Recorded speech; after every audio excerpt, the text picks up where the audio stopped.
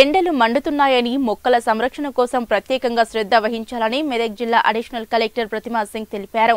కొల్చార మండలం పోతంశెట్టిపల్లి శివార్లోని నర్సరీని ప్రతిమా సింగ్ ఆకస్మికంగా సందర్శించి తనిఖీ చేశారు.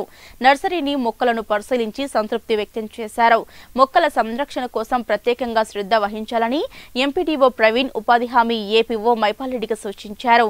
ఈ సందర్భంగా అడిషనల్ కలెక్టర్ ప్రతిమా సింగ్ మాట్లాడుతూ ఎండల తీవ్రత ఎక్కువగా ఉందని మొక్కల సంరక్షణ కోసం ప్రత్యేక చర్యలు తీసుకోవాలని సూచించారు. ఈ కార్యక్రమంలో పంచాయతీ కార్యదర్శులు నగేష్ అరుంధతి తదితరులు పాల్గొన్నారు.